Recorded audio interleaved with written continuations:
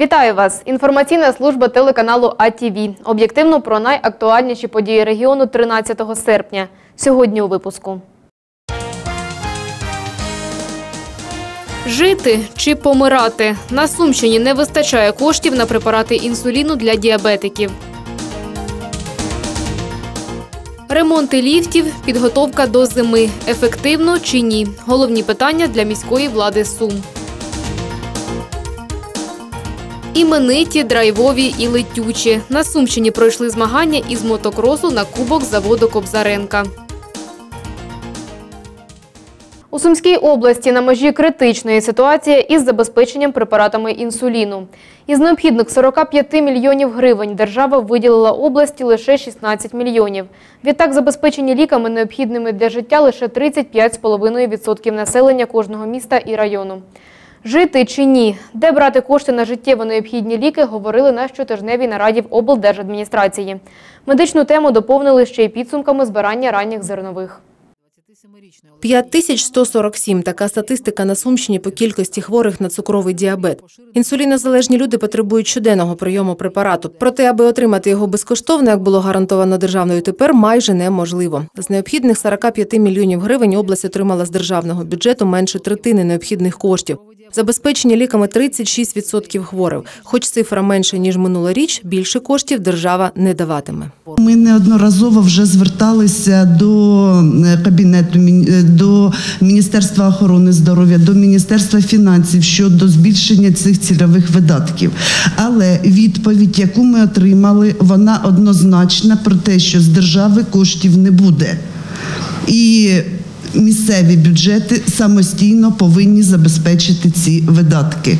На сьогодні, говорить головний фінансист, місцеві бюджети виділили лише 2,8 мільйони гривень. Жоден район і місто не забезпечив 100% виділення коштів діабетикам. На рівні 80% профінансувала шостка, СБУ, Лебединський та Тростянецький райони. Щоправда, є й такі, що взагалі проігнорували потреби хворих на своїй території. Місто Суми, Глухів, Канатоп, Недригалівський і Путивський райони взагалі не виділили жодної копійки на забезпечення цих видатків. Е, При цьому також я хочу звернути увагу на те, що всі місцеві бюджети спроможні виділити необхідні суми коштів для забезпечення даних видатків. Головний медик області непокоїться. Вкрай не вистачає 22,5 мільйони гривень. Кошти, хоча б частково, все ще сподіваються отримати від держави. І я, зокрема, підняв питання при прем'єр-міністрі е, про е, незабезпечення інсулінами. І багато областей підтримало, тому що це в кожній області така ситуація. І прем'єр-міністр дав доручення е, МОЗу е, ще раз це питання, перерахувати потребу. У мене ось ціла пачка є листів, які ми разом з департаментом фінансів пишемо і на Мінфін, і на МОЗ. І відповідь отримуємо однакову, що забезпечують коштами з місцевих бюджетів. Кожному районному місту цього дня дали доручення опрацювати питання, визначитися з необхідними коштами і винести питання і пропозиції на найближчі сесії місцевих рад. Зверніть на це увагу, тому що це наші люди. Ми не можемо просто так залишити е, без розгляду такі важливі питання. Тим більше, що е, від цього залежить життя інколи наших громадян. Вадим Акпіров говорить, ще раз надійшла листа прем'єру, аби на найвищому рівні переглянули фінансування лікування хворих на цукровий діабет. Продовження медичної теми 271 тисяча жителів Сумщини підписала декларації з лікарями. Це за словами головного медика області 25% від усього населення. В Україні показник вищий 34%. В лідерах по Сумщині Буринський, Краснопільський, Липоводолинський та Тростянецький райони, де половина жителів вже обрали свого домашнього лікаря. А от жителів Шостки та Конотопа медична реформа майже не торкнулася. Там підписаних декларацій 5% та 1% відповідно.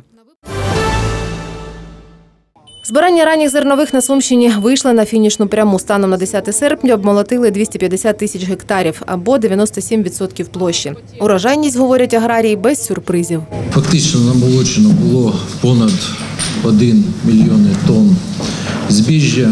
Середня урожайність становить 46,1 центнера з гектара.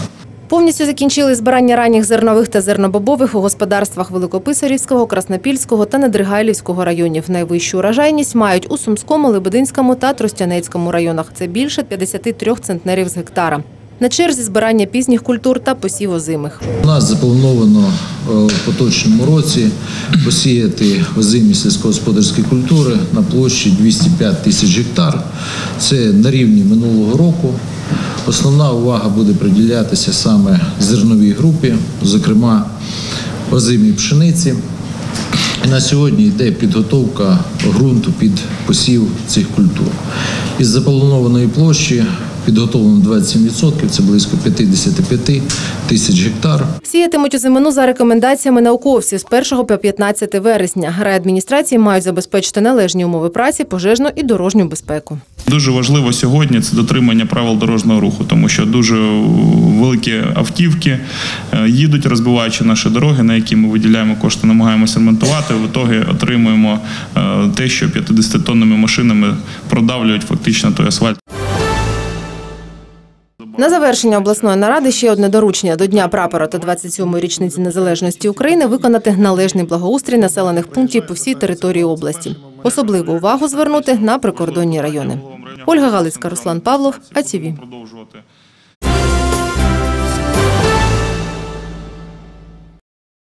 Підготовка до опалювального сезону, ремонт ліфтів і очищення систем дощової каналізації. На апаратній нараді при міському голові посадовці розглянули більше десятка питань. Про найважливіші рішення далі. У Сумах поховають бійця АТО. Пам'ять загиблого на Луганщині вшановують під час апаратної наради. Прошу зараз вшанувати пам'ять хвилиною мовчання старшого сержанта Олександра Миколайовича Буйвола, техніка 9-ї реактивної артилерійської батареї 3-го реактивного арт-дивізіону військової частини польова пошта 1476. Він загинув ще 3 вересня 2014 року в зоні АТО. Тіло ідентифікували тільки недавно. Прощатимуться з бійцем у четвер, 16 серпня, на плацу військової частини за адресою Герасима Кондратєва, 65.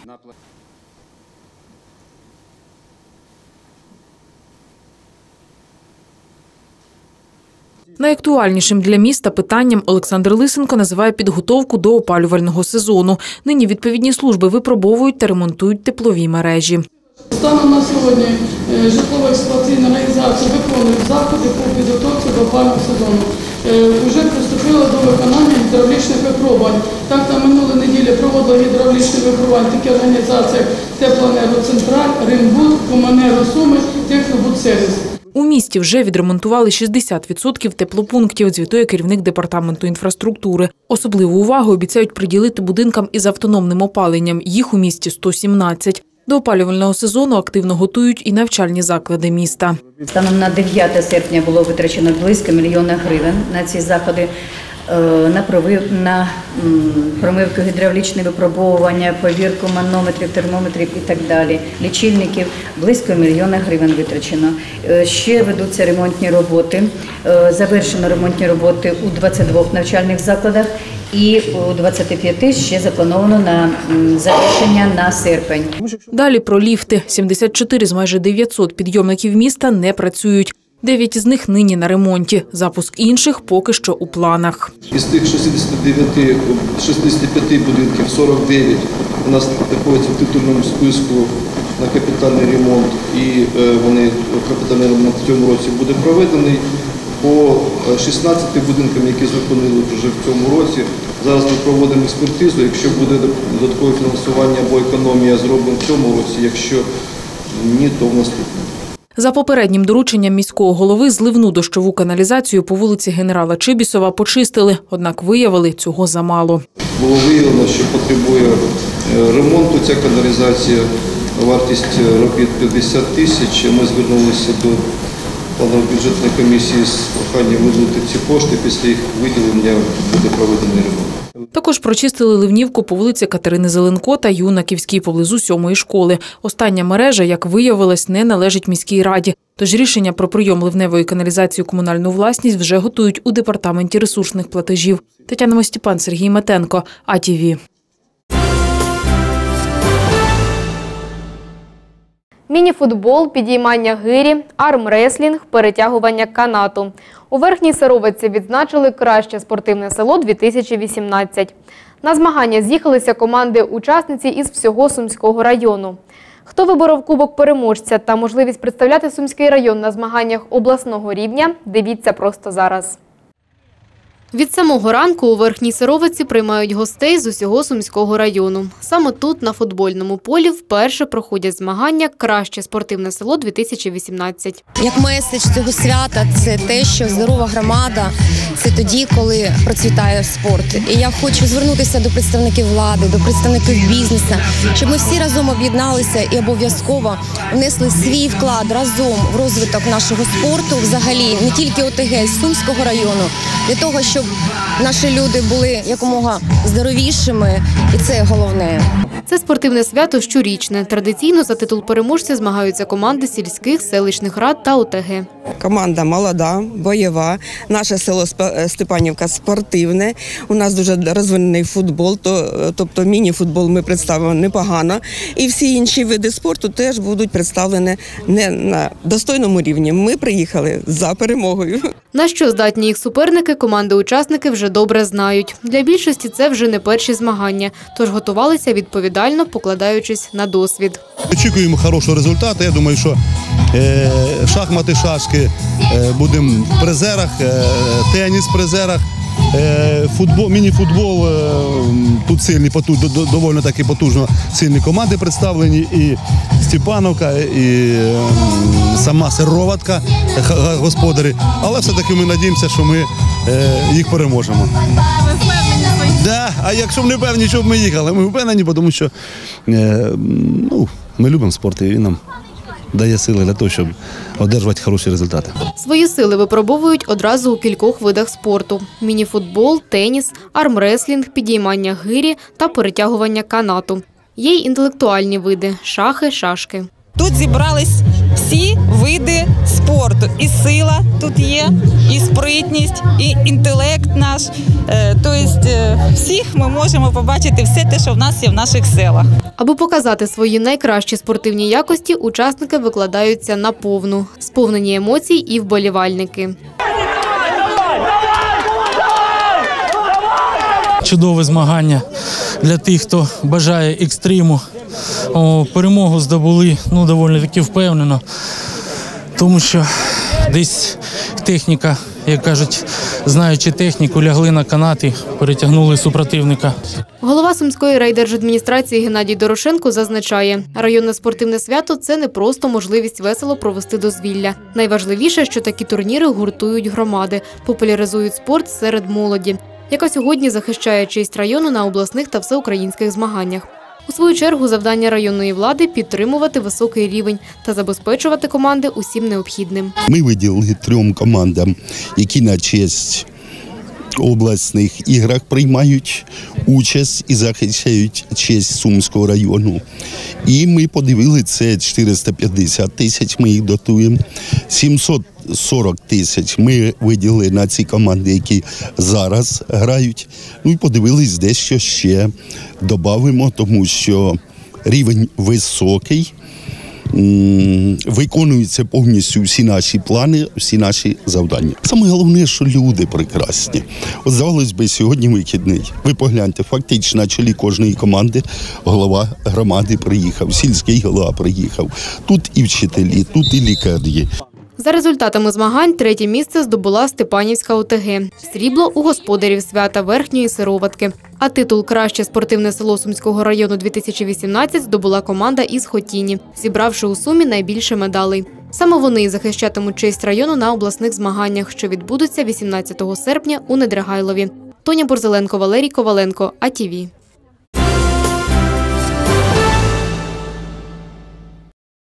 Літали не в вісні, а наяву. На пагорбах Роменщини відбулися змагання із мотокросу на кубок заводу Кобзаренка. Професійну трасу випробовували на собі спортсмени із Харкова, Полтави, Київської області і Краматорська. Хто із іменитих гонщиків взяв у них участь та який подарунок від організаторів отримав один із наймолодших учасників змагань, дивіться у спеціальному репортажі. Яскравому дійству, яскравий початок. Кольоровий салют дає старт змаганням з мотокросу на кубок завода Кобзаренка, взяти участь в яких з'їхалася майже сотня спортсменів та аматорів швидкісного спорту з усієї України. взять старт и весь заезд доехать стабильно, быстро и без всяких падений. Трасса классная. Есть и, и сложные участки, и есть где и отдохнуть. на трассе. И езди, и усилия приложить, как говорится, чтобы форму держать постоянно. Соревнования обязательно нужны. Как для души, так и для тела и для всего остального. Не лише для тіла, а й для гаманця, адже призовий фонд змагань 65 тисяч гривень. За кубок Кобзаренко будет участвовать. Э, Гонка, мало таких гонок с призовым фондом денежным. Так что, я думаю, будет сильная борьба. Участники обязательно они готовились. Я думаю, будет очень з- зрелищно, мощно и красиво.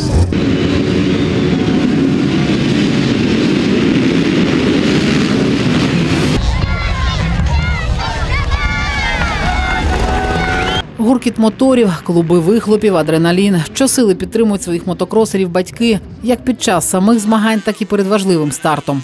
Чтоб удачно доїхав. Не спішано но быстро ехал.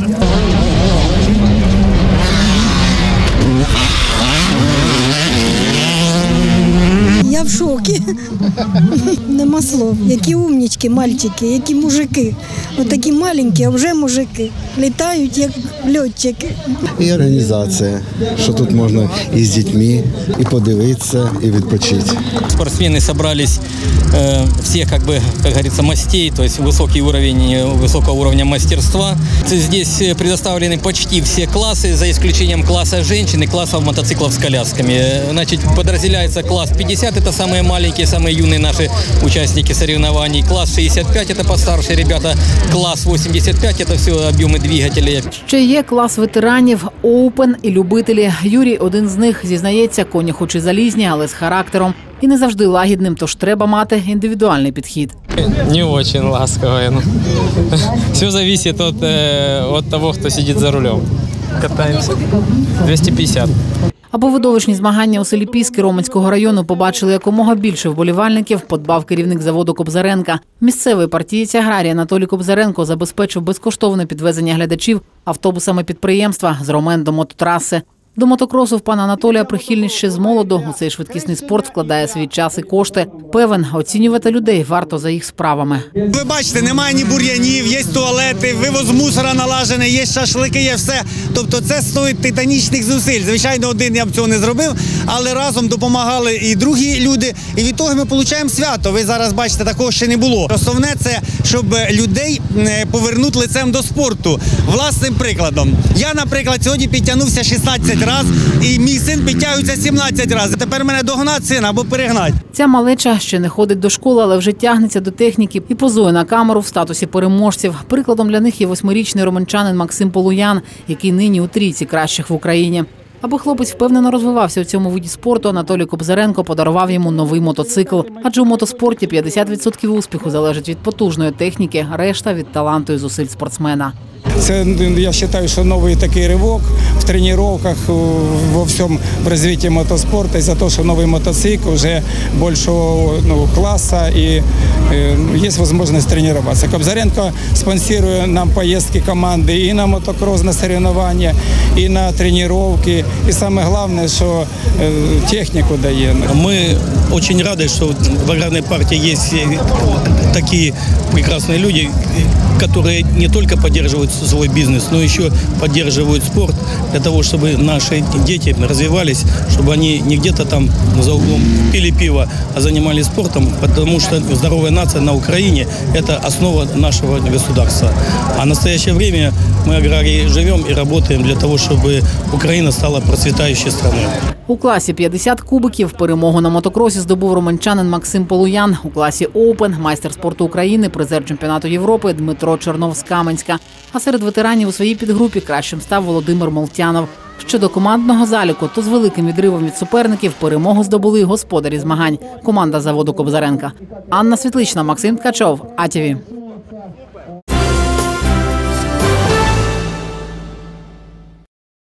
Лине серденько моє додому до села мого Мутин. У такий спосіб у любові до малої батьківщини зізнаються уродженці села Мутин, що на Кролевеччині. Приїхали на свято рідного села з усіх куточків України, навіть із-за її меж. Перші згадки про село Мутин датуються кінцем 17-го стріччя. Тож населений пункт має більш ніж тривікову історію. Що стосується незвичайної назви, то є кілька версій її походження. Одна з них мутна вода, яка виникає на межі злиття двох водних стихій. А за іншим повір'ям, в кінці 17 століття на цьому березі поселився козак, якого звали Мут. Тому пішла назва села Мутин. Для наших односельців козак Мут все таки символ, тому ми більш схиляємося до іншої версії про виникнення, про історію нашого села. Тому козак Мут є символом нашого села. У Мутині на день села завжди багатолюдно. Біля місцевого будинку культури усіх гостей частують млинцями. Це особливі млинці. Їх кулінарний секрет розкриває уродженець села, головний лікар Сумської обласної клінічної лікарні Володимир Горох. Кулінарною родзинкою села Мутин є е, млинці е, на дріжджах, тісто.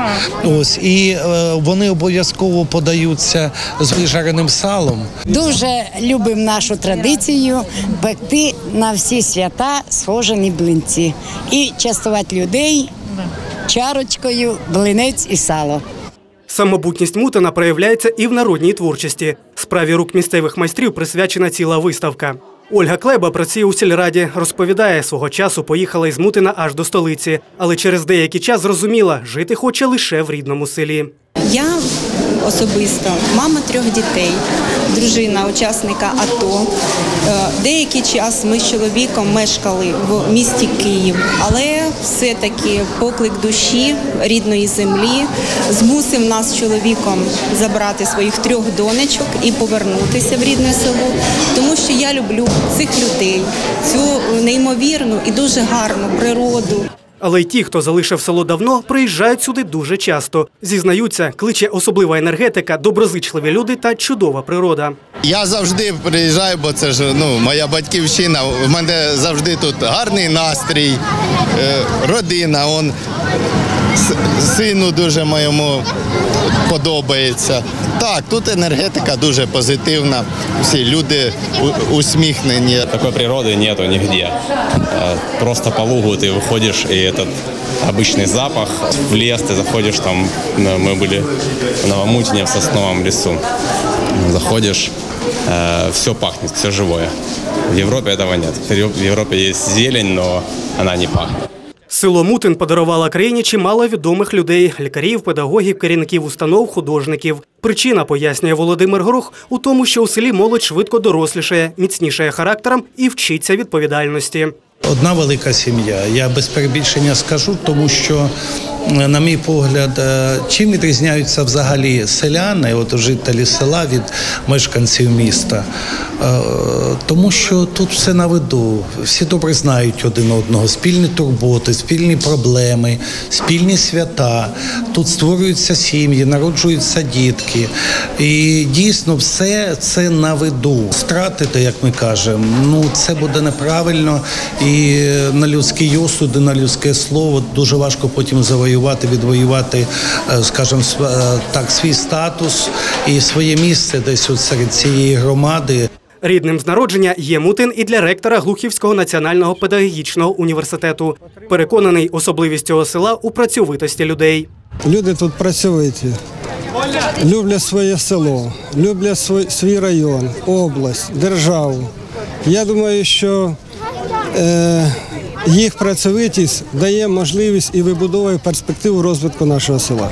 Зі святом народження село Мутин вітають артисти обласної філармонії. Підготували особливу програму, в якій звучить щире зізнання в любові до рідного краю. Село, давно мене тут не було, за той час, що я їздив по